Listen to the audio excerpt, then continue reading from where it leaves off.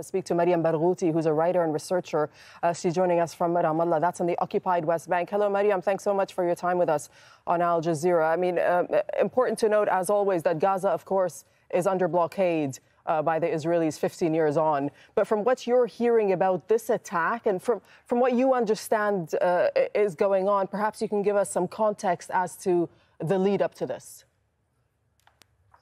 Um, thank you for having me. So right now in Gaza, we are also, as you were mentioning earlier, there is negotiations and talks about the electricity crisis that is happening. And Gaza is almost a population of 2 million. Most of them are under the age of 18 that have been under siege for more than 15 years. And I'm concerned in terms of how the discourse is unraveling and what Israel is doing, um, is that it's going to place the focus in that it's trying to target leaders of Jihad al-Islami um, and the assassination of Taysir al-Jabari without any context. Let's also recall how Israel consistently reports on Palestinians as though it has targeted and quote unquote neutralized um, terrorists and including uh, looking at the numbers of the martyrs as of yet, there's a five year old child that was killed. And this was preceded by bombings um, through Israeli uh, Air Force and drone strikes on Gaza just weeks before. And this comes at heightened um, times when Israel uh, is arming its settlers in the West Bank to shoot and kill Palestinians and not have to speak under, you know, the chain of command of a military. So what we're seeing right now is an intensification of Israel's military strategy of shock and awe. And right now it is not just, you know, the politicians and let's keep in mind that Israeli elections are coming up in November, and there's been this trend of Israeli leaders to use Gaza as a weapon to kind of rally the Israeli settler population. Right, but in terms of the, uh, the, uh, the, military commander that has been killed in this attack, is it clear to you whether uh, Taysir al-Jabari himself was the target of this attack?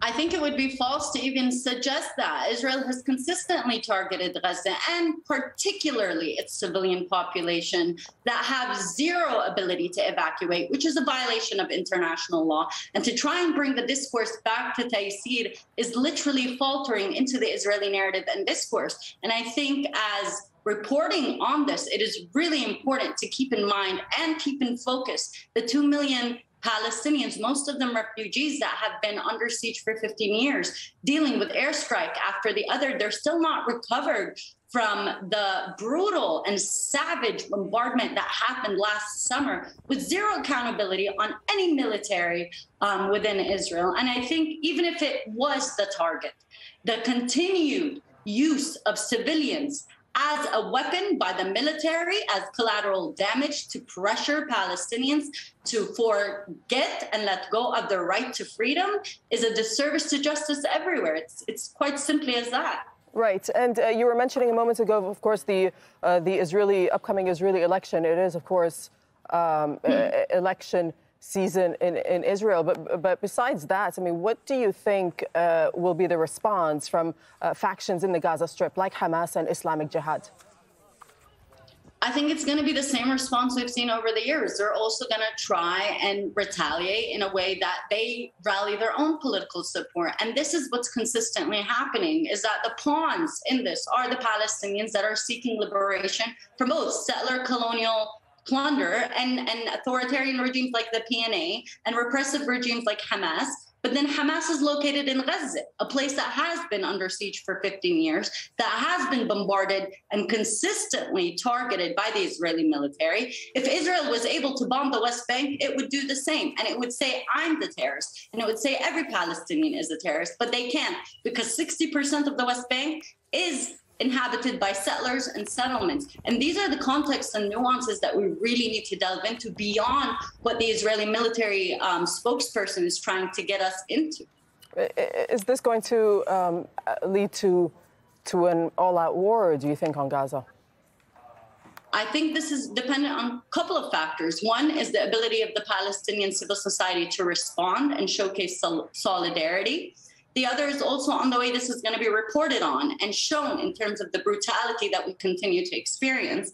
And then third is the policymakers and decision makers like the US that still continues to give military aid to Israel after killing Palestinians like Shireen Abu Akleh, a journalist, and then trying to weaponize her usage of a camera as though she's a terrorist. And this is the trend and the theme. So I think if, if we continuously falter into this trap, we're really not going to get anywhere. And right, what's going to happen is there any reason for you to believe gonna, that that, in fact, is going to change? What's going to change? The support, for example, you were just mentioning the support that the U.S. Uh, gives to Israel. That's, that doesn't look like That's it's going de- to change at any point soon, is it? That's dependent on us. Our representatives owe us our demands. And when we make those demands, they, they have to either adhere or let go of their position. And I really think right now is a very testing moment for the global community, regardless of profession and regardless of position, whether you're going to showcase not just solidarity, but active action um, against this brutality that we're witnessing. We're done speaking about Gaza being bombed and asked which political faction or who Israel is targeting. Right now, we're really trying to move towards liberation, just as we've seen last summer um, during the Intifada of Unity. And I think right now, I've said this last year, and it's it's tormenting that we have to consistently say this. But not only are we at the final breath, we are being suffocated in the ICU unit. And that's what Israel is doing. Um, and right now, it's not just on Palestinian. What? How are Palestinians going to respond? Right now, it's on the world. How is the world going to respond? What about um, the uh, the sort of uh, the usual players, if I can say that, uh, when it comes to mediation? Uh, and uh, when it comes to such issues uh, like uh, such events like this one that we've seen in Gaza, we've often seen the Egyptians be able to step in and play some sort of role um, in terms of calming down the, the, rhetoric and the tensions. Do you, do you expect uh, who can play a mediator right now? I think right now the only mediators that are playing any role, whether it's Egypt or otherwise, the tension they're trying to calm is the Palestinian confrontation towards our literal occupation by a military nuclear power. Um, Israel is the only state in this region that has nuclear weapons, and somehow it continues to play victim. What they're trying to mediate is our continued confrontation. And we've seen Israel do this relentlessly by employing regional powers through their vulnerabilities and allyship that they're trying to build in order to kind of perpetuate their their settler colonialism and accelerate it as well. And that's where we're witnessing an acceleration. Less is done. Gaza has been bombed enough times for any inkling of life there to grow up traumatized and destroyed. The negotiations by Egypt about electricity, let's recollect this is a 15 years in the making. It's been 15 years of Palestinians trying to convince Israel that they deserve electricity to carry on daily activities. Not just daily activities, but you have cancer patients and patients in hospitals that are unable to survive because of this injustice. So, if we want to speak about the mediation, let's also bring in like the demand that's being asked for. So, when Israel says it's assassinating Taysir Jabari, it's actually has been assassinating in a gradual killing, a very slow killing of 2 million Palestinians in Gaza. And that's what's happening. It's not this one moment because the news pegs say it is. Right. Uh, and we're just hearing this is according to, in fact, the Reuters news agency, the Israeli army spokesman uh, has said this on the Gaza operation quote, we haven't finished yet.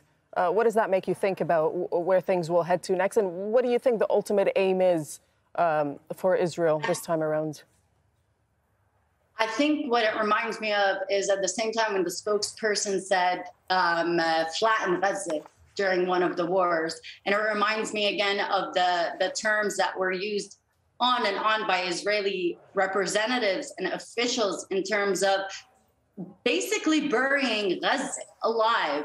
And I think what this means is that they're not going to back down because we continue to tolerate their crimes, whether it's in Jenin, whether it's in Khan Yunis, or whether it's in uh, in 48. Palestinians are under an attack by a settler colonial regime that put a 13 year old in prison, Ahmed Manasra, and treated him like a terrorist. And we continue to separate these events, but it's not. These, this is the systemic. What's happening is ethnic cleansing. in a, in a decade, maybe you won't see a Palestine, and maybe Israel will be the lessons of the crimes of the past.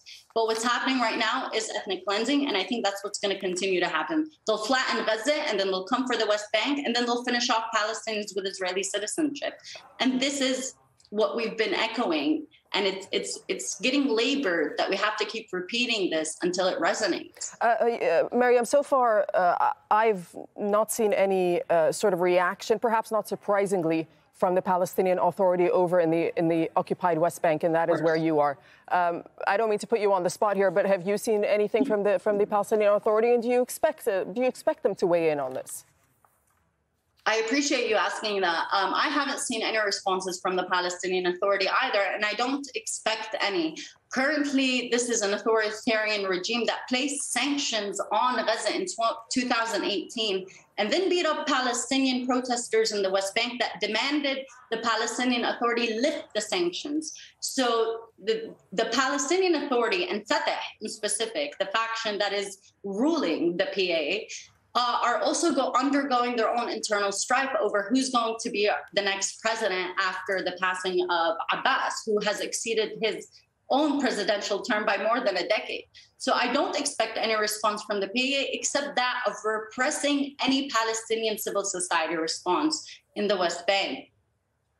Uh, Mariam Barghouti, we'll leave it there, but we thank you so much for joining us on this uh, developing and breaking news story out of Ramallah and the occupied West Bank. Thanks so much.